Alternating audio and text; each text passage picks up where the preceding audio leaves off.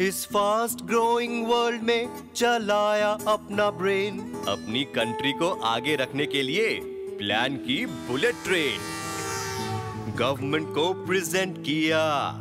मैंने ये amazing idea और इंडिया को फास्टेस्ट बनाने का प्रॉमिस कर दिया। मैं तो बड़ा साइंटिस्ट हूँ।